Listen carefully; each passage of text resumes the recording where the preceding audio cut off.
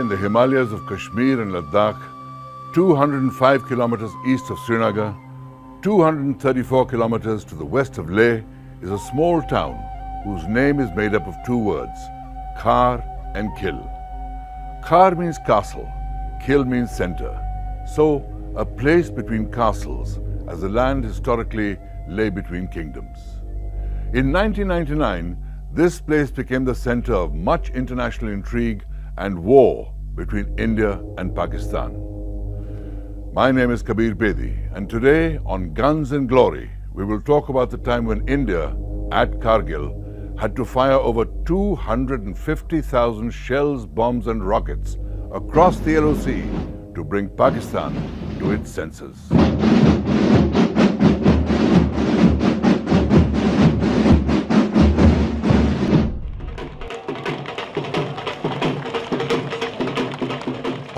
20th of February 1999, at the Wagah border, the Prime Minister of Pakistan waited to receive his guests. This was the inaugural trip of the Delhi-Lahore bus service and the first visit to Pakistan by an Indian Prime Minister in 10 years. When Prime Minister Atal Bihari Vajpayee alighted from the bus, it seemed that the ice of suspicion and misunderstanding between the two neighbors was finally on the verge of a thaw. As Prime Minister Nawaz Sharif stepped forward, first there was a handshake, and then the Prime Minister of India initiated a hug, which seemed to be grudgingly reciprocated by the Prime Minister of Pakistan.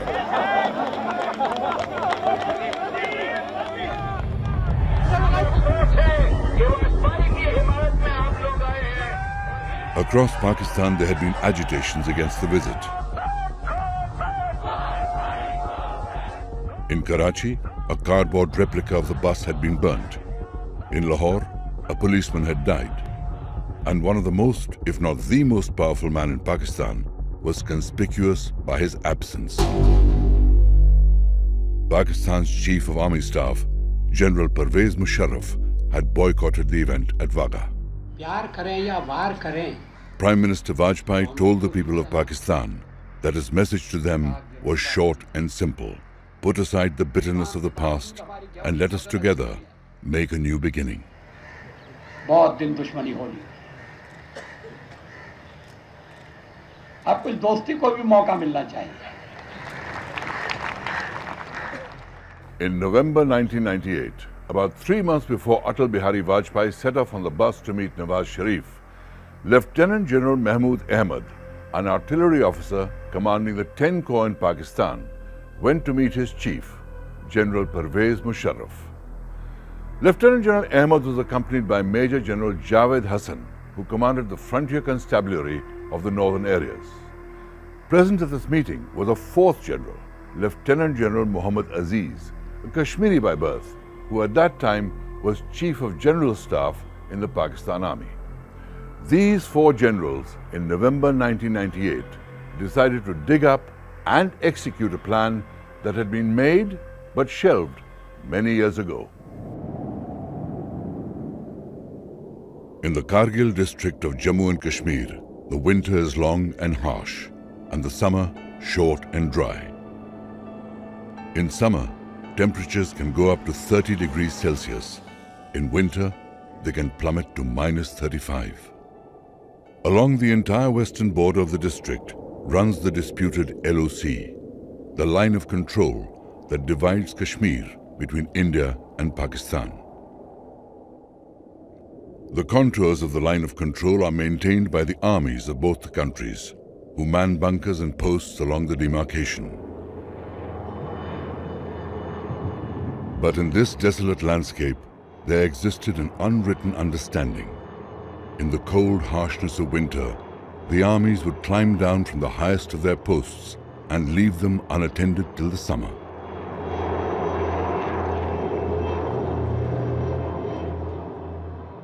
This understanding ended in 1999, when four Pakistani generals put into motion a simple but devious plan to destabilize the status quo. From Rawalpindi Army Headquarters, a secret order went out occupy the bunkers and posts in the Dras Kargil sector, that the Indian Army had vacated in the winter of 1998 99.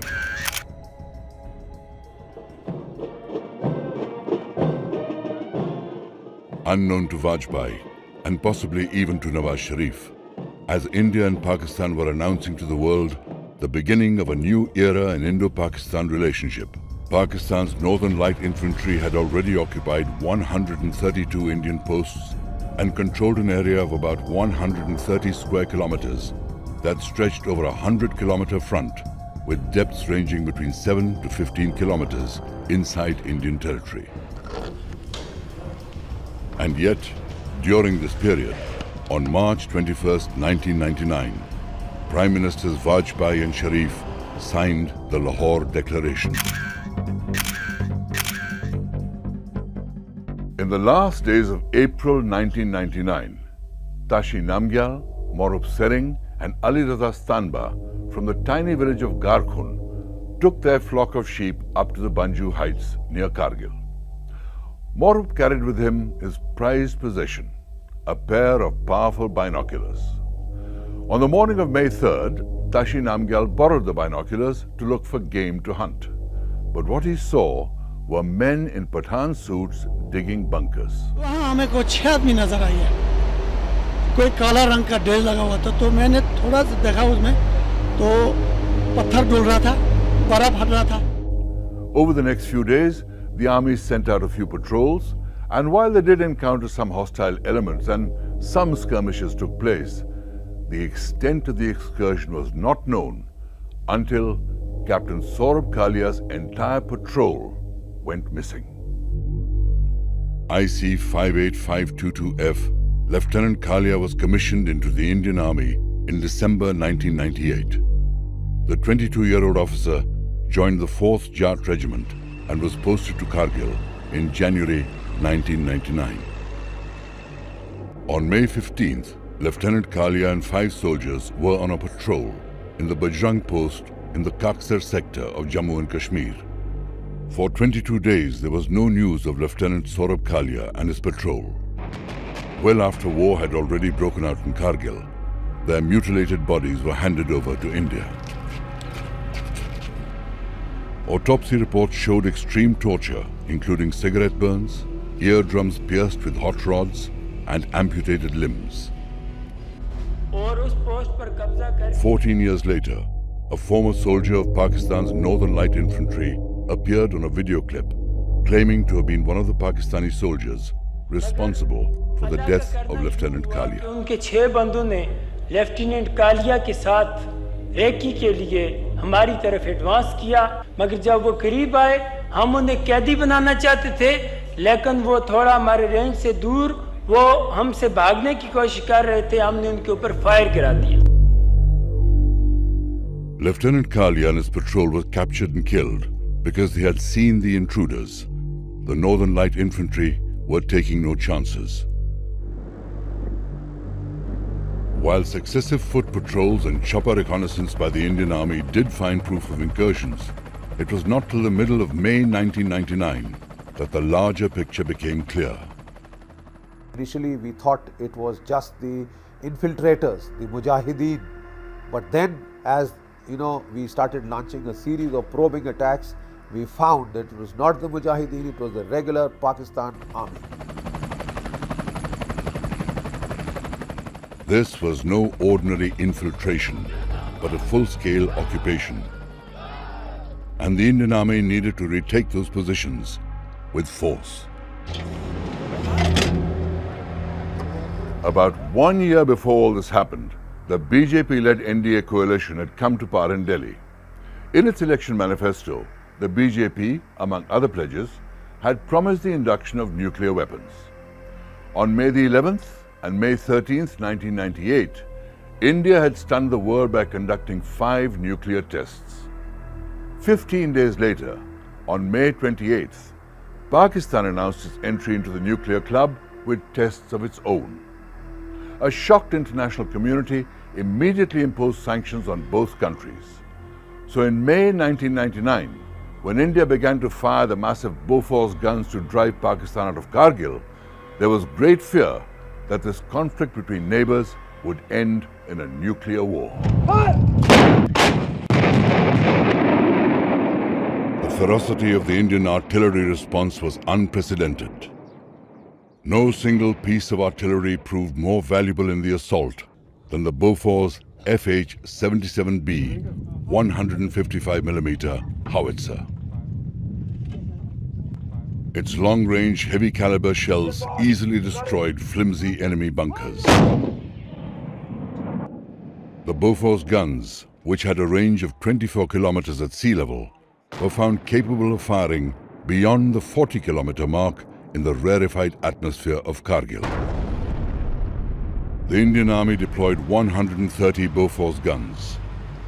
Most of them came under the command of a man who came to be known as the Enraged Bull of Dras. Bofor had each shell weighing 43 kilos. So every shell which you fired on them did make a dent in the enemy defenses and did cause a lot, lot of casualties. I think one of the major reasons the enemy drew back from these places was because of the Bofor firing.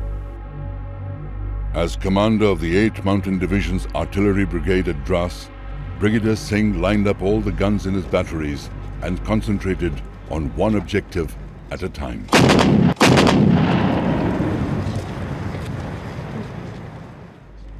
In one crucial assault, 100 guns concentrated their fire at one point, point 5140 in Tololing.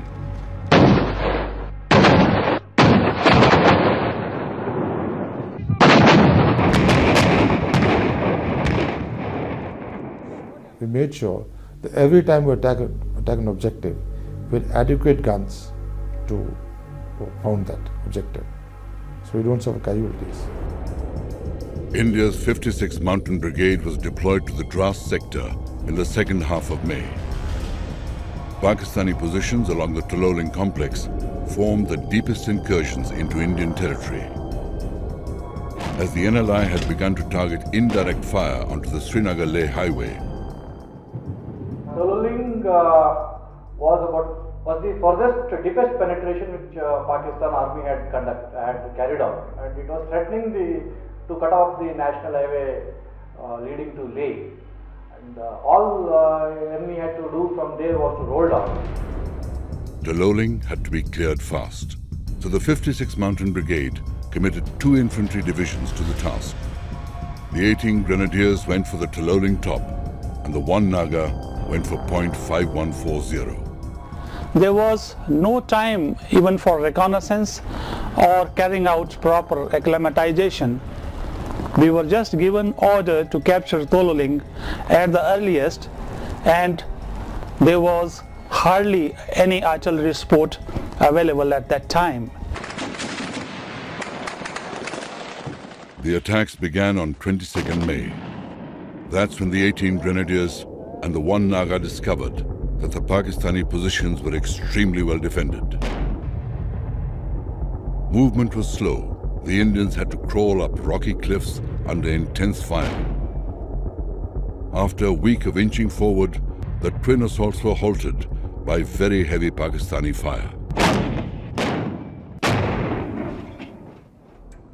After eight days of battle, the Grenadiers suffered more than 150 casualties, and the 1 Naga fared no better. Tololing was the most fierce, deadliest and bloodiest battle which we encountered. We suffered very heavy casualties since enemy was on dominating heights. The units initially deployed to Kargil arrived ill-equipped to face the hardships of mountain warfare. The troops were not even fully acclimatized, and they had not counted on such well-entrenched and well-equipped enemy forces. But the Indian Army quickly retooled its approach to face the rigorous challenges of a high-altitude war. The two Rajputana rifles were deployed to Sonamarg and carried out acclimatization and strategic training before moving to take up positions at Dras. The battalion requisitioned appropriate gear to suit the climate. On the 3rd of June, the two Raj Rif, under the command of Lieutenant Colonel M.B. Rabindranath, reported to the 56th Mountain Brigade and were given immediate orders to seize Tololing. We tried to maintain surprise, or we actually succeeded in maintaining surprise by dumping ammunition only at night for six days. And uh, then uh, after six days, we final day we actually went and lied Dogo next to the objective areas for whole day without moving, and then attacked the next day. On the night of June 12th, 20 artillery batteries consisting of 120 guns began a continuous six-hour barrage aimed at Pakistani positions on the cliff tops. The 18 grenadiers, who were stuck midway up the ridge, set up their own barrage. Under the cover of this tremendous cannonade, the two Rajrif moved towards Tololing Peak along both the chosen axes. The big guns kept firing till the Indian attackers were a mere 200 meters from their objective. When they suddenly fell silent, the Rajrif soldiers, supported by fires from the 18 grenadiers, decimated the Northern Light Infantry and took possession of Tololing Top.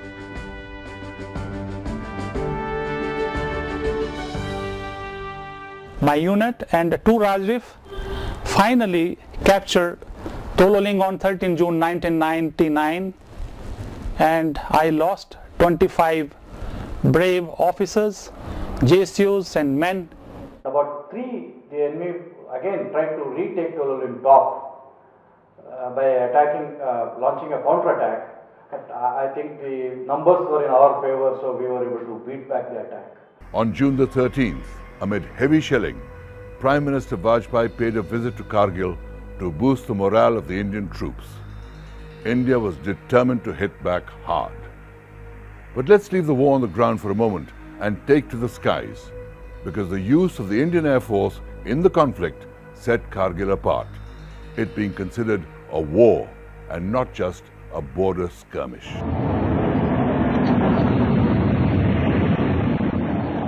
The Indian Air Force began offensive operations at 0630 hours on May 26th.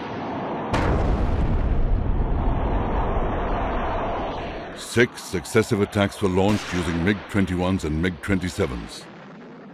The targets were intruder bunkers, supply lines and supply dumps in the Dras and Batalik sectors. They used rocket attacks and strafing passes over enemy dugouts in the face of intense enemy fire. And Mi-17 helicopters attacked positions on Tiger Hill.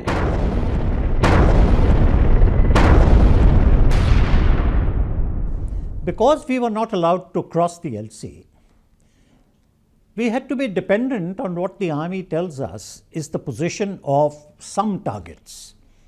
And these targets were not easily seen, not even from the ground, leave alone from the air. But our strategy was to hit those targets as best as we could. India took a major decision in launching the IAF into action in Kargil. The fear was it would escalate the scale of war and hostilities might not be limited to the Kargil sector.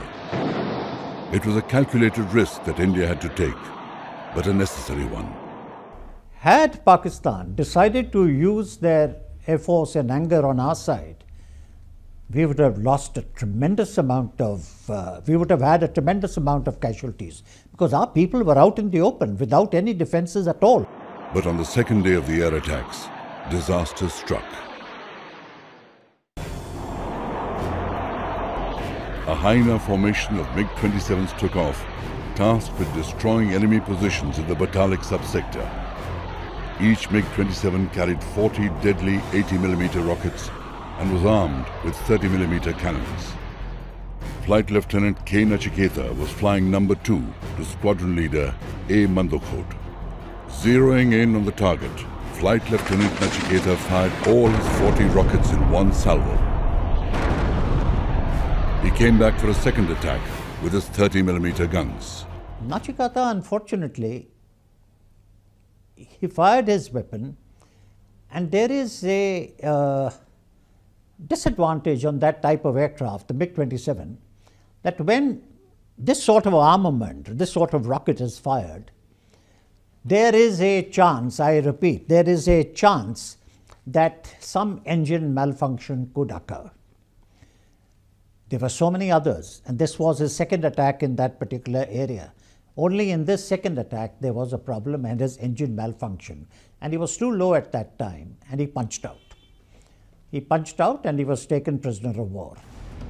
When Flight Lieutenant Nachiketa ejected, Squadron Leader Ajay Ahuja, also airborne on a mission at the same time, stayed over the area in an attempt to spot his landing site to direct rescue helicopters to pick him up. So he, he trying to look for it, he started to turn around and his aircraft was heavily loaded.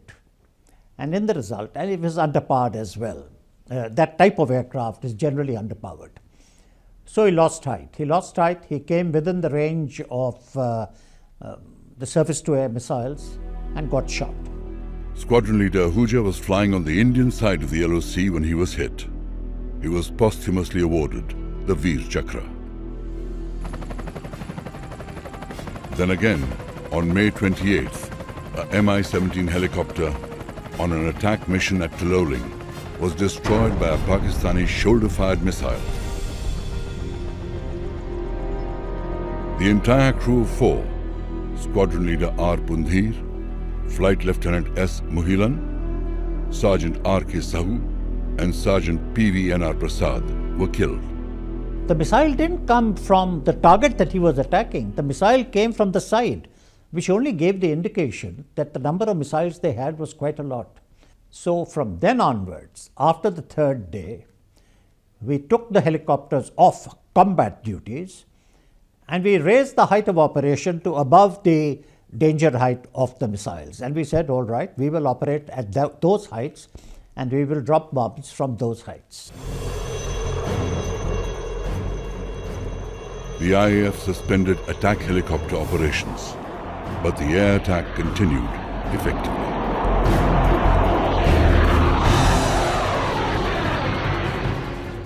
In Kargil, it was a real challenge for fighter pilots not to stray over the LOC as ordered.